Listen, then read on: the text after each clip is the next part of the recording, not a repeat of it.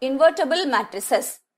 If A is a square matrix of order M and if there exists another square matrix B of the same order M such that A multiplied by B is equal to B multiplied by A is equal to identity matrix I, then B is called the inverse matrix of A and it is denoted by A inverse.